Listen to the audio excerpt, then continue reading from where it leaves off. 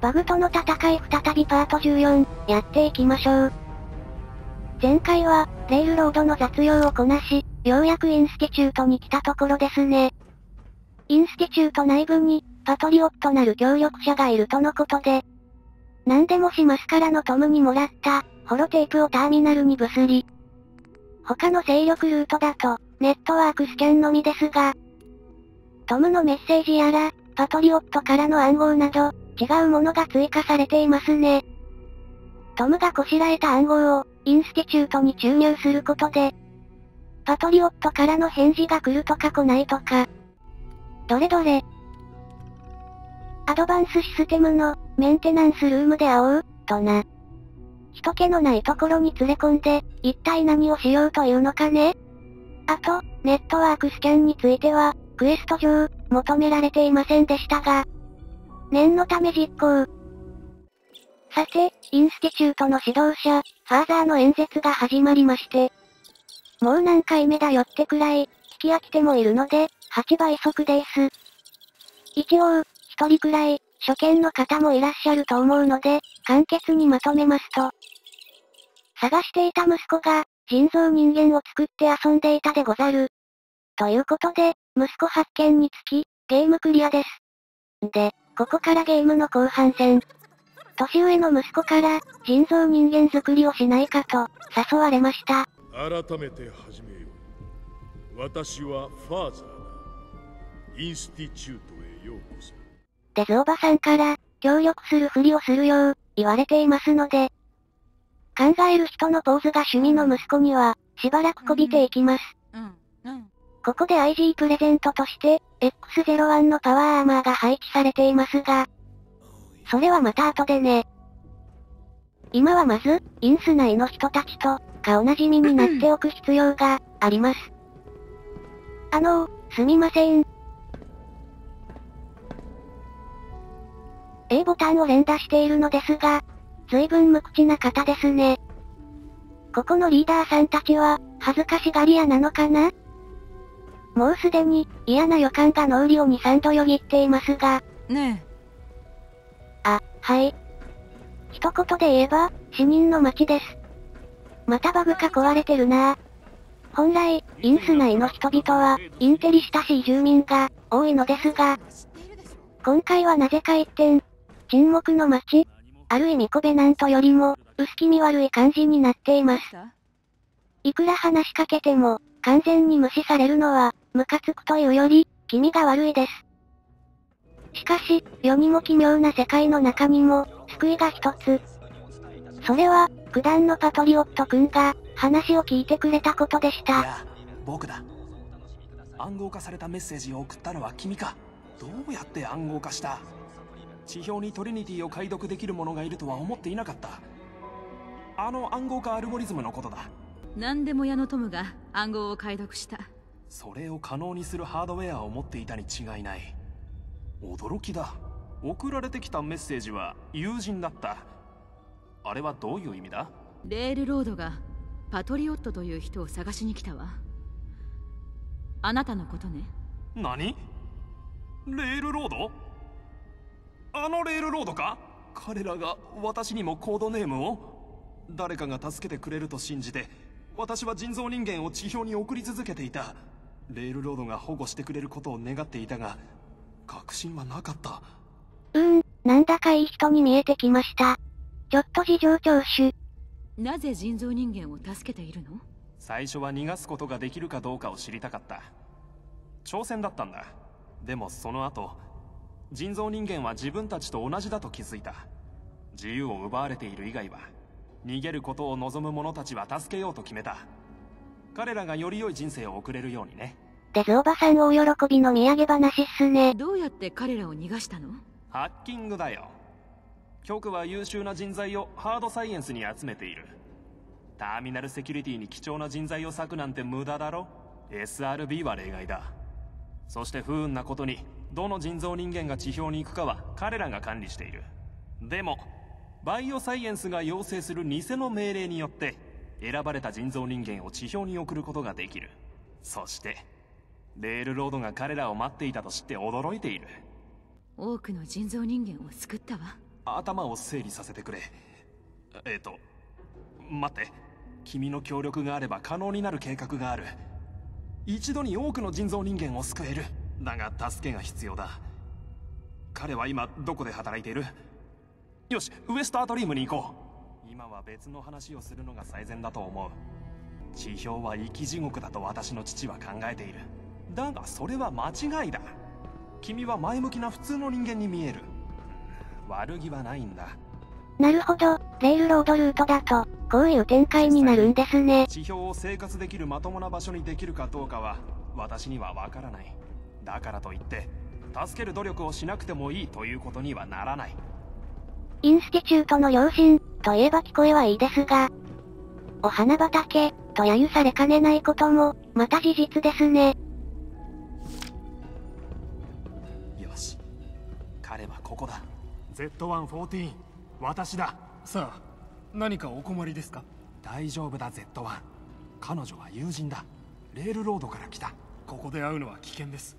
それに不審者と一緒にいる。あなたを信じてもいいという根拠は？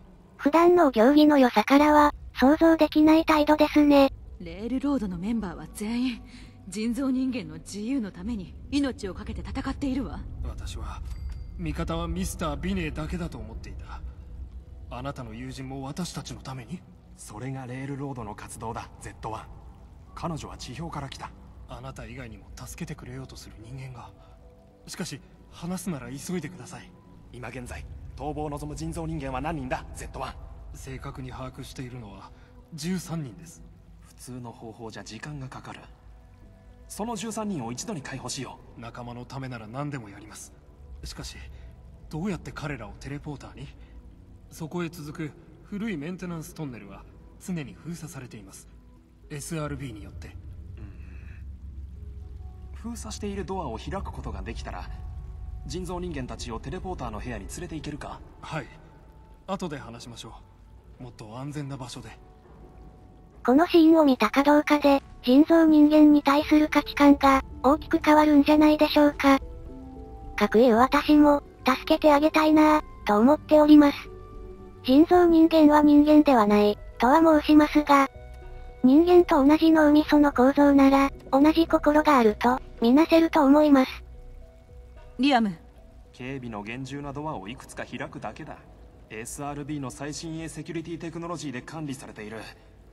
正面からのハッキングじゃ無理だ。横から攻めよう。手を貸してくれるんだろ一人では無理だ。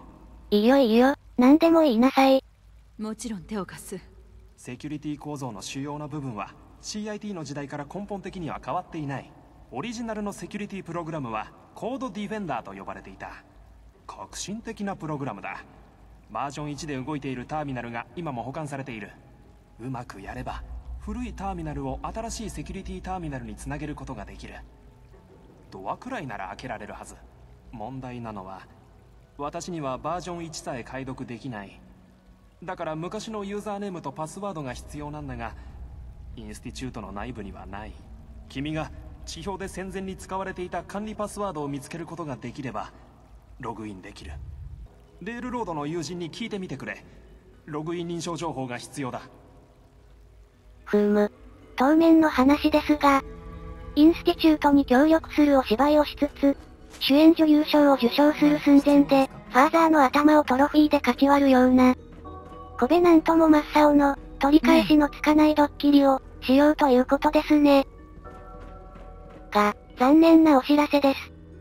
各部門のリーダーが、完全に黙り込んでしまいまして、このクエストを進めるまでは、インスティチュートの、出入りができません。リーダーどもが、なぜ口をつぐんでいるのか、それは私にも、さっぱりですが。ともかく、積んでしまったようです。またか。やはり、ファストトラベルできず。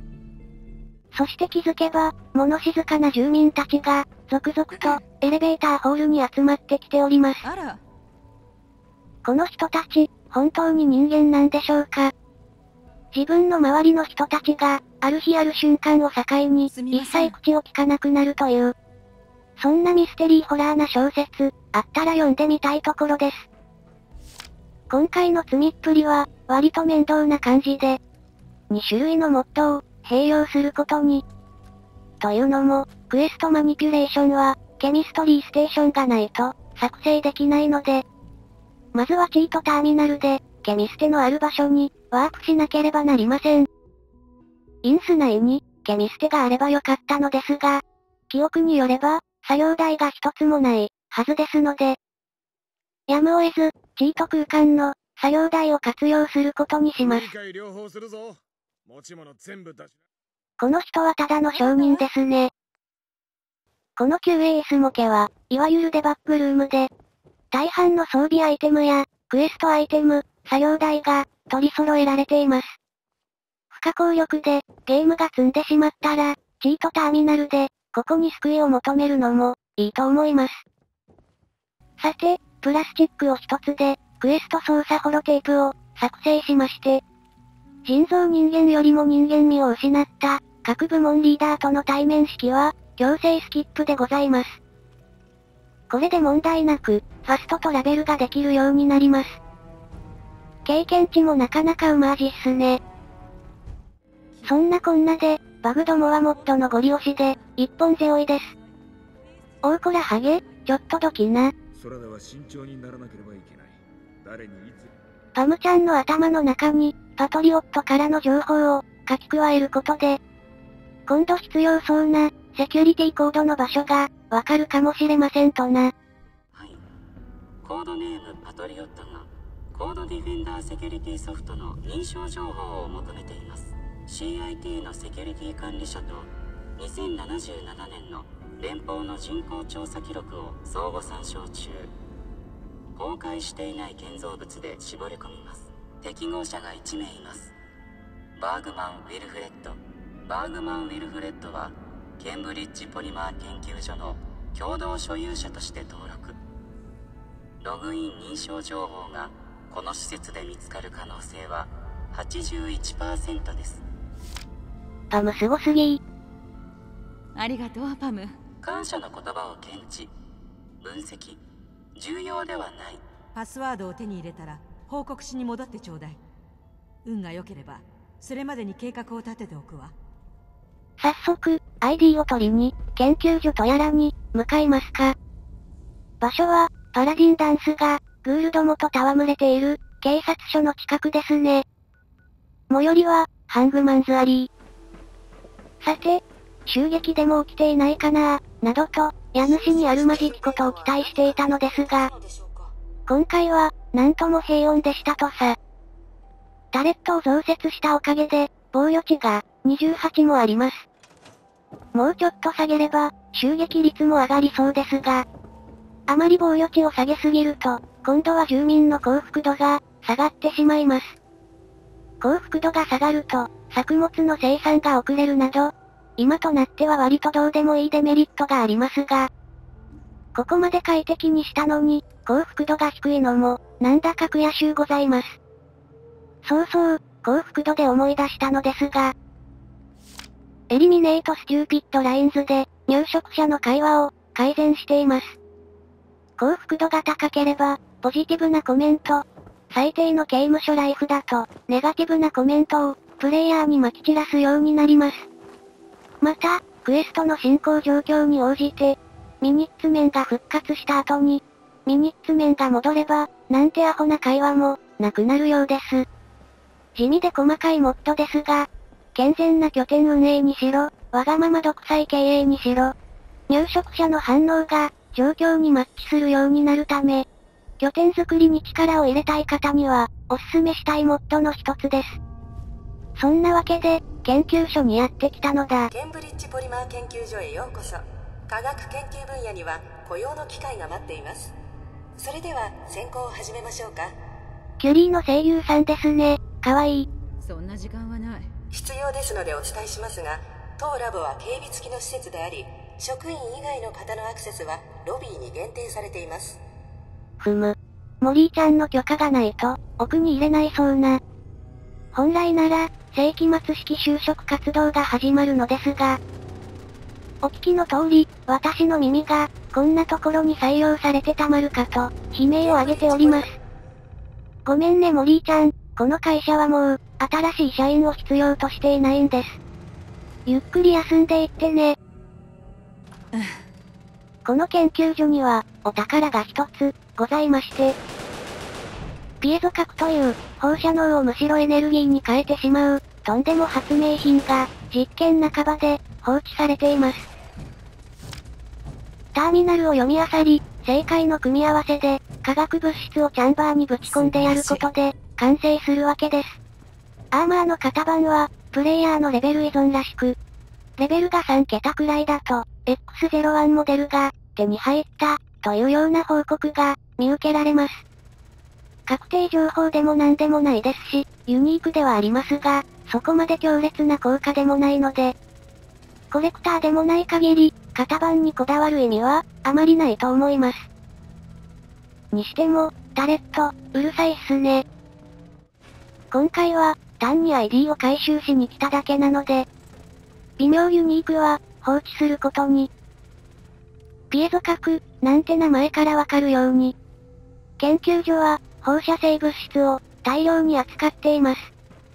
ガバガバを極めた除染室を抜けると、グールとタレットが、新入社員歓迎パーティーを開催してくれますので、先輩社員による、パワハラかっこ物理に、負けないように頑張りましょう。とにかく、上のタレットを真っ先に潰せば、あとはやりたい放題ですね。